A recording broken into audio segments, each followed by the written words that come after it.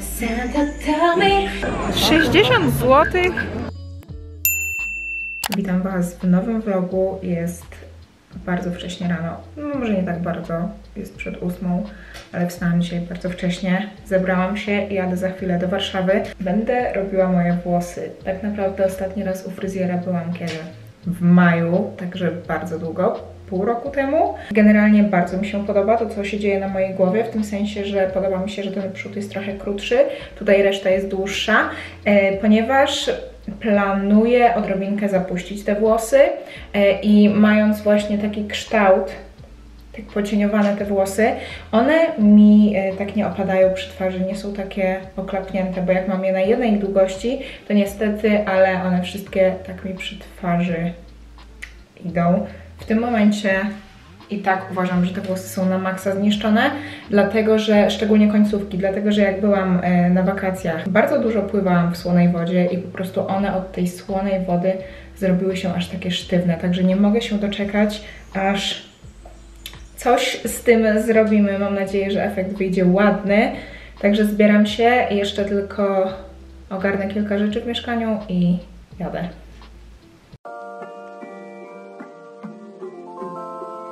To jest mój total look. Jeszcze do tego właśnie torebka na czarno, ale z przełamaniem. Będzie mi ciepło, dlatego że płaszcz, który mam na sobie jest wełniany. Sweter, który mam pod spodem jest kaszmirowy, do tego czapeczka. Jest taki smart casual, ten płaszcz w ogóle.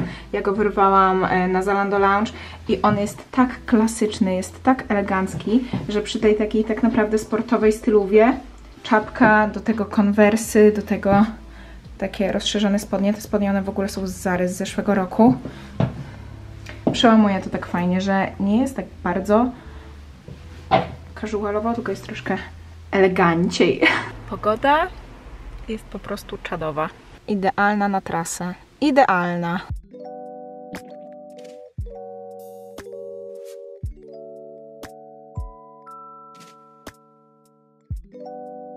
Pięknie. To się nazywa nowoczesne fryzjerstwo.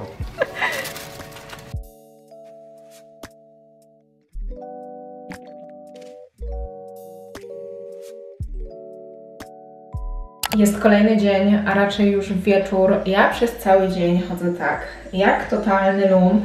Przysięgam Wam, że wczoraj jak wróciłam z tej Warszawy, to po prostu padłam. Dzisiaj wstałam o 9, obudziłam się o 9 i tak naprawdę do 13 totalnie nie miałam na nic siły. Dopiero o 13 zaczęłam wszystko ogarniać. E, No i tak mi zleciał dzień. Jest już 18, a ja królowa na włościach. Ale oprócz mojej metamorfozy włosów, którą na pewno jeszcze w tym filmie Wam pokażę, tak wiecie, już e, w świetle dziennym, razem z makijażem, nie teraz, jak jestem takim lumpiszonem. Natomiast oprócz tego, słuchajcie, jadę za chwilę usuwać pieprzyki z twarzy. Dokładnie mówię o tych dwóch pieprzykach, które tutaj mam i które w tym świetle akurat są jakoś mało widoczne. Natomiast y, są to pieprzyki, które od dłuższego czasu bardzo mi przeszkadzają. Przede wszystkim przeszkadzają mi z tego względu, że one delikatnie, ale rosną. One powoli sobie rosną, powiększają się. Ja w ogóle kiedyś miałam tylko jednego pieprzyka, bodajże tego albo tego, nie wiem. W każdym razie zaraz drugi mi obok urósł i tak we dwa one są tutaj. I też by mi to nie przeszkadzało, gdyby, wiecie, one sobie tak powoli rosły, jakby wywalone. Ale oprócz tego, że one rosną, to jeszcze z tych pieprzyków wyrastają włosy. I to już mnie po prostu doprowadza do szału. A fakt, że wyrastają mi z tych pieprzyków włosy, ja pensetą je wyrywam, przez co jakby podrażniam też te pieprzyki, przez co one właśnie rosną. Więc to jest e, koło zamknięte. Jedyna opcja, żeby nie mieć ani włosów, ani pieprzyków, to po prostu je usunąć. I dlatego też w zeszłym roku zaczęłam cały proces usuwania pieprzyków na moim ciele. E, zaczęłam od tych tutaj dwóch przy uszach. Miałam takie dwa symetryczne, e, tak aby sprawdzić, jak moja skóra twarzy reaguje. Usuwała mi moja pani doktor Kozłowicz z Regeneris w Lublinie. Usuwałyśmy też pieprzyki na brzuchu, o czym Wam y, mówiłam chyba w filmie z retinolem. Natomiast właśnie w końcu przyszedł moment na te dwa, które były moim głównym powodem e, dla którego właśnie poszłam do pani doktor. Jestem przerażona, ale z drugiej strony podekscytowana. W ogóle przez cały tydzień brałam Rutinoskorbin 5 tabletek dziennie. Po co? Wydaje mi się, że po to, żebym nie krwawiła za, za bardzo właśnie z tych ran. Nie jestem pewna, jak pójdę do pani doktor, to Wam powiem jeszcze raz, albo ona Wam powie.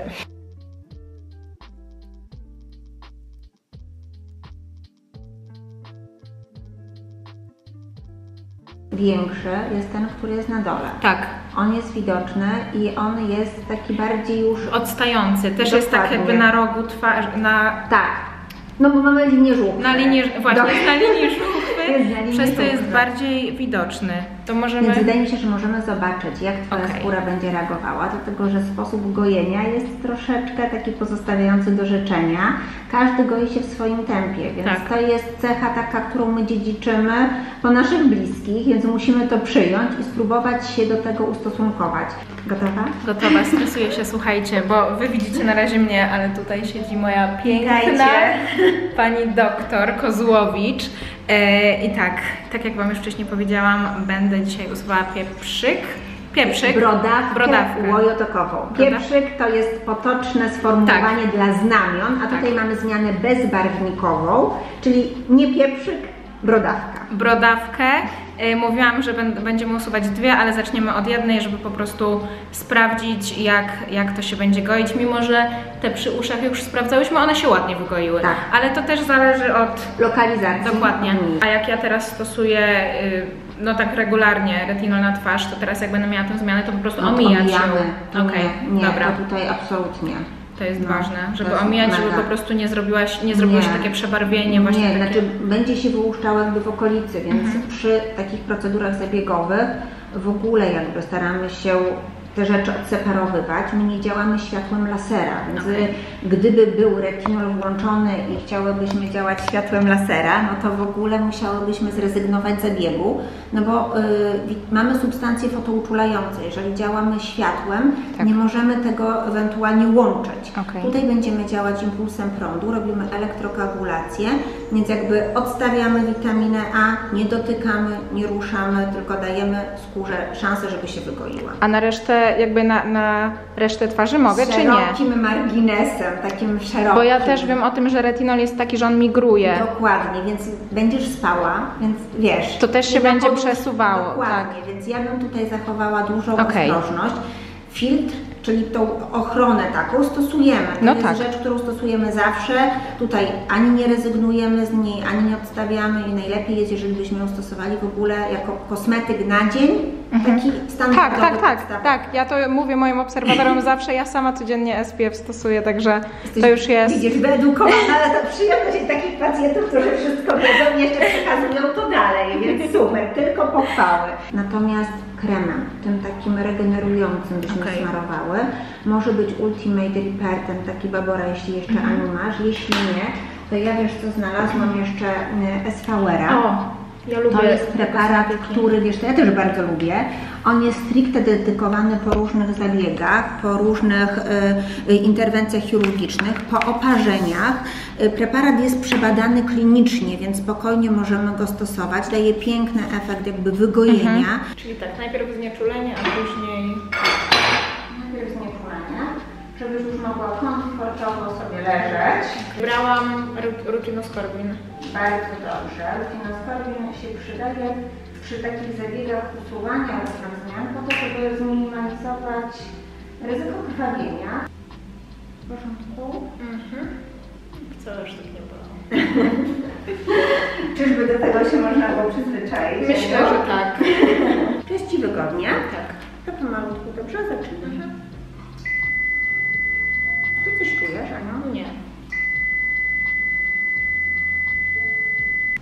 Okej, czyli jest zaczerwienione.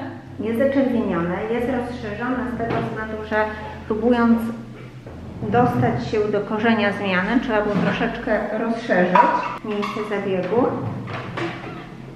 Czekamy, aż wykształci się naturalny opatrunek, czyli strup i później efekt. Jest już płasko, nie widać. No racja, z tej perspektywy. Jestem już w domu. Tak to w tym momencie wygląda. Bardziej wygląda jakby to był jakiś, nie wiem, pryszcz. albo właśnie strup, albo przybarwienie, tak jak mam tutaj, pozostałości, e, niż jakby tutaj coś było usuwane, e, ale jutro, pojutrze z tego zrobi się taki, wiecie, ciemnobrązowy strup. Jestem ciekawa, jak to będzie wyglądało, jak się zagoi. Mam nadzieję, że ładnie, mam nadzieję, że wszystko będzie w porządku. Jeżeli chodzi o retinol, to mam zagwozdkę, czy go na najbliższe dwa tygodnie całkowicie odstawić, czy stosować go jakby wiecie, w odległości od, od tego miejsca, od brody, z tego względu, że retinol ma to do siebie, że migruje. I nawet jak go, nie wiem, nałożycie na policzek, a nie podjedziecie tutaj pod okolice oka, to ten retinol i tak przemigruje właśnie tutaj w okolice oka. I tak samo jest na reszcie twarzy. Jeżeli ja w tym miejscu go nie zaaplikuję, a zaaplikuję go załóżmy tutaj, to on i tak powoli, powoli się przesunie. Druga rzecz jest taka, co pani doktor powiedziała, że jak się śpi, to po prostu mimowolnie ta głowa chodzi po poduszce i, i to też się przesuwa, przemieszcza. Także jeszcze o tym pomyślę. Jutro po południu e, jadę do Wrocławia, do Matiego. Nie mówiłam Wam, ale on teraz tam siedzi, przynajmniej na ten moment. Po prostu e, kończy magisterkę. Mam nadzieję, że jak najszybciej to się skończy już. E, bo o ile jeszcze parę lat temu, jak sama studiowałam w Londynie, mm, to nie wiem, jakoś z tą odległością mam wrażenie, że trochę łatwiej było. O tyle im jestem starsza, tym bardziej potrzebuję bliskości. E, także jutro jadę do niego na kilka dni. Wydaje mi się, że jakoś do środy u niego zostanę. E, dlatego też właśnie przez kilka ostatnich dni po prostu pracowałam za trzech robiłam y, wszystko na zapas, filmy na zapas, zdjęcia na zapas, e, współpracę nie na zapas, tylko tak jakby, wiecie, chciałam przygotować współpracę wcześniej, żeby one były gotowe na ten czas, jak mnie nie będzie, bo wtedy nie będę mogła ich zrobić tutaj z mojego centrum dowodzenia. Także wszystko robiłam na zapas i przysięgam Wam, że jestem wykończona. I o ile mówi się, że influencerki to nie pracują, że influencerki to tylko siedzą i sobie ładne zdjęcia robią, słuchajcie, ja, ja chciałabym być taką influencerką która sobie siedzi i tylko zdjęcia robi. Ja po prostu od rana do nocy gdzieś jestem, coś robię. Jeszcze pokażę Wam tutaj w tym świetle, tutaj jakby jest to ciemniejsze, możecie zobaczyć, że po prostu się strupek zrobił. Mam ogromną nadzieję, że to ładnie się zagoi i w przyszłym miesiącu zrobimy drugi pieprzyk.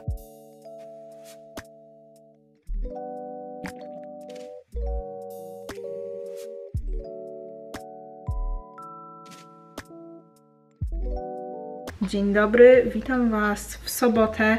Ja niedawno wstałam, wykąpałam się, wysuszyłam włosy nawet, już zdążyłam, zobaczcie w takim one są kolorze po farbowaniu. Są wyrównane, ale wiecie co mi się bardzo podoba? To, że e, jest połączenie takich bardzo chłodnych refleksów z takimi karmelowymi, mm, ciepłymi refleksami, trochę jak kawa z mlekiem, coś takiego, bardzo mi się to podoba. Jeżeli chodzi o sytuację z pieprzykiem, wygląda ona tak. Robi się powoli strupek. E, ja nie planuję się dzisiaj malować, nie wiem jak jutro, może jutro się pomaluję.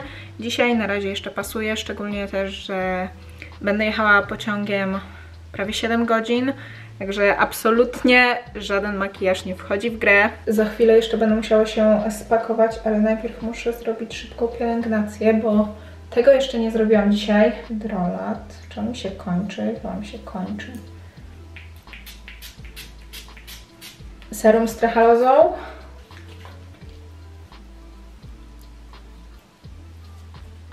Na te wszystkie przebarwienia, co mi się tutaj porobiły, nałożę Acne Derm, czyli e, krem z kwasem azelainowym. Ja go uwielbiam właśnie na takie zmiany, y, zarówno na wypryski, ale szczególnie właśnie na przebarwienia, dlatego że dosłownie kilka dni i wszystko znika. Ja akurat ten krem poznałam kilka lat temu, zupełnie przez przypadek, na jakiejś grupie na Facebooku. E, zobaczyłam, że ktoś polecał. Poszłam do apteki, kupiłam, dlatego że nie wiem, to kosztowało 15 zł, jakoś tak. I jak ja Wam powiem, że po tygodniu dosłownie wszystkie e, takie zapalne stany mi się uspokoiły. Naprawdę, to było coś fenomenalnego. I tak samo zawsze mam z przybarwieniami. Zobaczcie, nawet teraz mam wrażenie, że to od razu jest jakieś takie bledsze. Krem pod oczy Ole Henriksen z Bakuchiolem. Tak samo uwielbiam ten krem. Na całą twarz krem nawilżający, ten akurat jest bardzo mocny. Mm, bo on jest na zimę i on jest taki bardzo okluzyjny, jest lipidowy, ma w sobie oleje, więc on rzeczywiście no, jest już taki mocarny, bym powiedziała.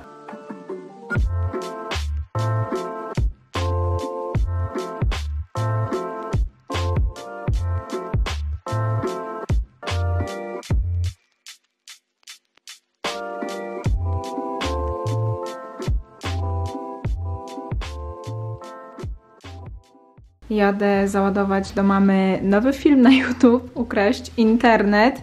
E, Zostawiam też u niej samochód, no i potem już będę jechała do Wrocławia. Do it for fun.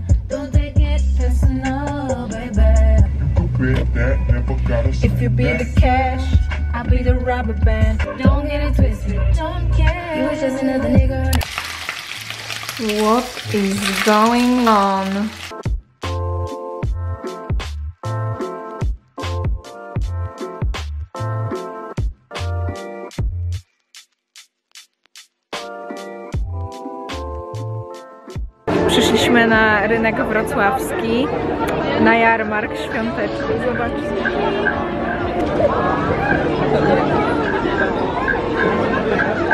Ej, masz gotówkę, bo nie można płacić kartą. Mam. A dwa świąteczne kosztują 6 dych. Co? Tak.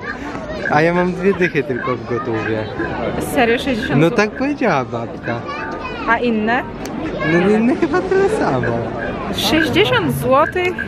To możemy się przejść dookoła, może dalej dziś będą inne i najwyżej wrócimy. Ja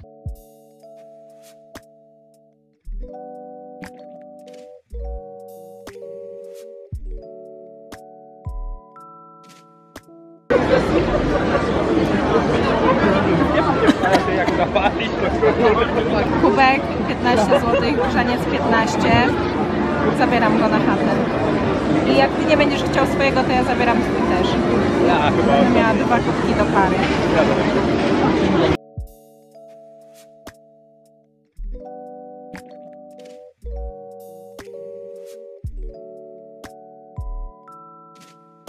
Jest kolejny dzień, ja się właśnie wykąpałam i chciałam Wam zrobić update pieprzyka, a raczej tego, co po nim zostało, czyli strupek. W tym momencie, jak możecie zobaczyć, on już się zrobił taki dosyć ciemny. Także teraz kilka dni będę czekała, aż on odpadnie i zobaczę, jak będzie się goił. Ogólnie to ograniczam malowanie. Wczoraj, jak wyszliśmy do miasta, to rzeczywiście trochę się pomalowałam, ale tak jakby ominęłam całkowicie e, tutaj tę strefę, żeby nie musieć później jej trzeć. E, A tak poza tym to trochę podkładu nałożyłam, trochę korektora, wiecie, klasycznie to co zawsze. Natomiast jeżeli chodzi o pielęgnację, no to głównie nawilżenie. Raczej tutaj y, niczego innego nie używam, chociaż teraz mam e, w kosmetyczce podróż, w podróżnej wersji serum antyoksydacyjne z Basic Club, to ja też sobie używam e, z rana, natomiast e, w ogóle nie brałam ze sobą ani retinolu, żadnych kwasów, nic takiego, po prostu, żeby tej skóry dodatkowo jeszcze nie podrażniać, także w tym momencie głównie skupiam się na takim, wiecie, uspokojeniu, nawilżeniu przede wszystkim. And that's it.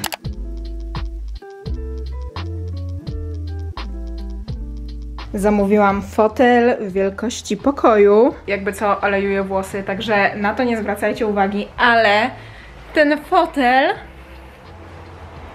jest gigantyczny, ale jest mega wygodny, taki, że wiecie, można się rozłożyć na różne strony. Jaki jest mój pomysł na niego?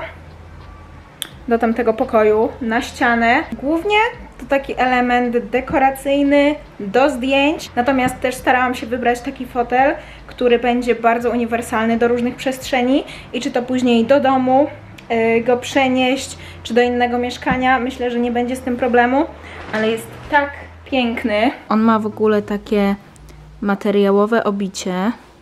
Zamówiłam go na West Wing Now chyba. Szedł do mnie 8 tygodni i waży z 35 kg, także panowie mi go wnieśli, ale jak on zostanie przetransportowany gdziekolwiek z tego mieszkania, nie mam pojęcia. Już po prostu sobie współczuję swojej genialnej pomysłowości.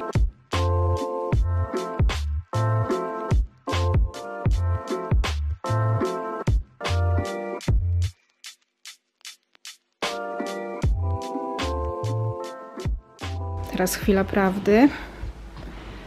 Czy on się zmieści przez drzwi? Nie. O ja. Geniusz. Geniusz Eugeniusz.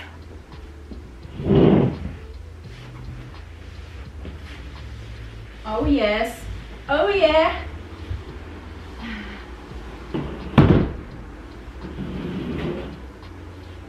Czy tak jest ok? Nie wiem. No ale jest potężny. Potężny. Zobaczcie, ja się odsunę, żebyście mogli perspektywę zobaczyć. No wygląda to ładnie. Muszę powiedzieć, że wygląda to ładnie i on w ogóle sam z siebie jest ładny. Tylko nie wiem, czy on mi nie będzie tu przeszkadzał. Ja walę, co ja robię.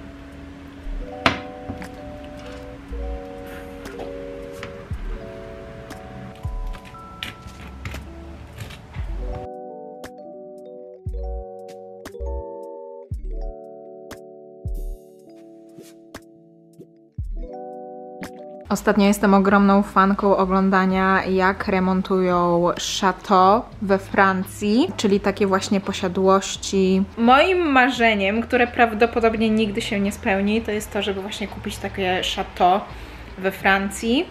Nie wiem, wyremontować je i, i nie wiem, co tam robić. Oni zazwyczaj, z tego co widzę, to remontują te chateau i po prostu mm, one działają jak takie hotele butikowe. E, ale żeby to robić, to trzeba po prostu tam być na miejscu i wiecie, ogarniać to w 100%, a ja nie wiem, czy nadawałabym się, żeby wyjechać do Francji i mieszkać, nie wiem, we Francji. Niby nazwisko mnie zobowiązuje, ale francuskiego nie znam ani trochę. Ok, umiem powiedzieć, że m'appelle Ania, że, że nie wiem, om. Om, umiem powiedzieć. Ale powiem Wam, że mnie naprawdę fascynuje architektura taka, wiecie, zabytkowa, niewspółczesna, dlatego że ja po prostu, w mojej głowie są tylko myśli, jak to wyglądało na przykład 100 lat temu albo 200 lat temu, kto tam mieszkał, kto tam żył. Wiecie, na przykład w czasie II wojny światowej, to w tych chateau we Francji, e, to Niemcy głównie okupowali te posiadłości, tam robili swoje, nie wiem, siedziby jakieś i to jest po prostu to jest tak fascynujące i niesamowite, że ja zawsze oglądam to z podziwem i też czy jestem w jakimś nowym mieście, zawsze oglądam architekturę, szczególnie te kamienice i sobie po prostu wyobrażam, jakby to wyglądało na przykład 100 lat temu albo 200 lat temu, jak to tutaj było na tej konkretnej ulicy. Może pomyślicie, że jestem jakaś, nie wiem, dziwna, ale fascynują mnie takie rzeczy. Dobra, w końcu mogę się z Wami porządnie przywitać, ponieważ już się ogarnęłam. Ogólnie minął około tydzień, mm, od kiedy ostatni raz nagrywałam tego vloga, taka ze mnie vlogerka, że po prostu przez tydzień nie jestem w stanie sięgnąć po kamerę. Przede wszystkim nie pomalowałam się jeszcze, dlatego że chcę Wam zrobić update a propos y, mojego usuniętego pieprzyka. Odpadł mi pierwszy strupek, odpadł mi drugi strupek i teraz ciągle jeszcze tutaj jest strupek taki już malusieńki, y, więc myślę, że jak ten odpadnie, no to już będę miała taką, wiecie, gołą skórę y, i będzie to miejsce mogło już blednąć, tak mi się wydaje, mam nadzieję, że tak będzie. I w tym filmie zakończę update dotyczące tego, jak to wygląda, natomiast w innych, kolejnych vlogach na pewno będę Wam mówiła, co i jak, zresztą sami pewnie będziecie mogli zobaczyć, jak nie będę miała makijażu na sobie. Ogólnie trochę Was wprowadziłam w błąd, dlatego że wydaje mi się, że na początku mówiłam, że będę miała usuwane pieprzyki laserowo i chyba w poprzednich filmach też Wam tak mówiłam i na Instastory też mi się wydaje, że tak mówiłam. E, nie wiem, coś mi się w głowie poprzestawiało. Natomiast tak jak Pani doktor Wam powiedziała, to nie był laser, tylko była to elektrokoagulacja, czyli takim jakby prądem, taką igiełką z prądem. E, pani mi to usuwała i tak naprawdę wszystkie pieprzyki, które miałam usunięte, właśnie były y, usuwane tą metodą. Nie było to absolutnie bolesne, nieczulenie, z tego co pamiętam odrobinkę mnie bolało, ale wiecie, to było dosłownie takie malusieńkie ukłucie, natomiast po znieczuleniu już absolutnie nic nie czułam, także to jest super. I tak samo fajne jest to, że po prostu jest to dosyć szybki zabieg, dlatego że kilka minut i już jest po wszystkim. Tak w ogóle to zostawiałam sobie ten zestaw ze Skims, tak po prostu zachwaliliście, mówiliście, że pięknie wygląda, więc doszłam do wniosku, że okay, zostawię jeden taki ładny, domowy set się przyda, chociażby, żeby tutaj z Wami gadać i wiecie, pokazywać Wam coś z mieszkania, a przy okazji nie wyglądać jak lump. I od razu też możecie zobaczyć już mój nowy fotel. Tak to w tym momencie wygląda i chyba tak już zostanie, dlatego że podoba mi się tutaj ten taki kącik. Troszkę powiedziałabym, że to jest taki kącik wypoczynkowy, czytelniczy. Wiecie, tutaj mogę sobie na przykład z książką usiąść, tutaj na przykład herbatę postawić. Z drugiej strony też jest to właśnie takie fajne miejsce do zdjęć czy do nagrywania. E, mam fajne tło, nie jest tutaj pusto.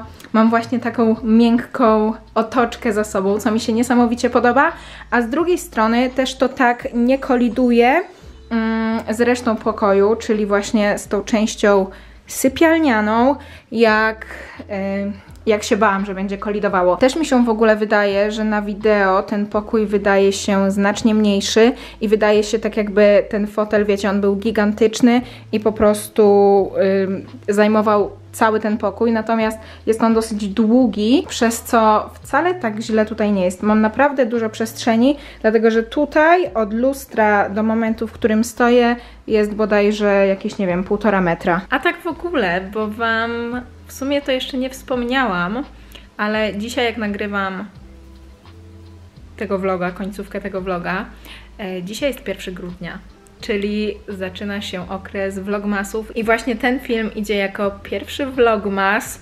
Nie mam pojęcia, ile tych vlogmasów się pojawi. Mam nadzieję, że jak najwięcej, aczkolwiek powiedziałam sobie, że przynajmniej jednego vlogmasa w tym roku dodam. E, I to jest właśnie ten pierwszy vlogmas. Za chwilę jeszcze pojadę do mamy, dlatego że tam czekają cztery kalendarze adwentowe, które będę otwierała. Zresztą w ogóle też zapraszam Was na mojego Instagrama e, i szczególnie na Instastory, dlatego że w tym miesiącu ruszam z takimi mystery treats, czyli mm, prezentami, niespodziankami. Będę w różny sposób wybierała e, osoby, które będą dostawały ode mnie paczki PR-owe, które ja jakiś czas temu dostałam, ale ich nie otwierałam, specjalnie zostawiłam je na boku, e, żeby po prostu zrobić takie mystery treats dla Was. I pierwsze takie rozdanie zorganizowałam wczoraj, także dzisiaj będę wybierała osobę, która dostanie ode mnie ten prezent, ale właśnie na Instastory będę Wam y, jakby pisała szczegóły, co trzeba zrobić, żeby w dany dzień mm, coś otrzymać.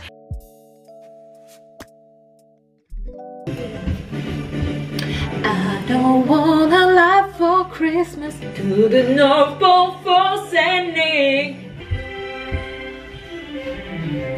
Santa, tell me next year.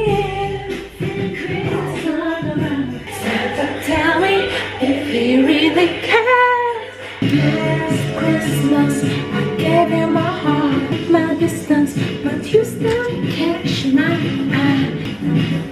Merry Christmas.